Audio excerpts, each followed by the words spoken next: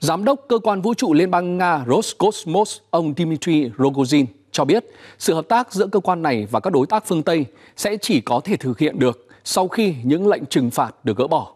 Theo ông Rogozin, Roscosmos sẽ đệ trình các đề xuất về việc chấm dứt hợp tác với NASA và các cơ quan vũ trụ quốc tế khác lên chính quyền Nga. Tuy nhiên, vẫn chưa rõ quyết định sẽ ảnh hưởng đến trạm vũ trụ như thế nào. ISS không thuộc sở hữu của bất kỳ quốc gia nào mà được Mỹ, Liên minh châu Âu, Nga, Canada và Nhật Bản vận hành thông qua một thỏa thuận hợp tác giữa các nước. Tuy nhiên, Roscosmos rất quan trọng đối với ISS khi phân đoạn quỹ đạo của Nga xử lý việc điều khiển hướng dẫn cho toàn bộ trạm.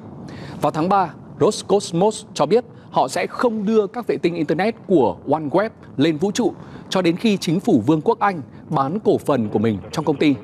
Cùng tháng đó, cơ quan vũ trụ châu Âu cũng thông báo họ sẽ đình chỉ sứ mệnh chung ExoMars với Roscosmos.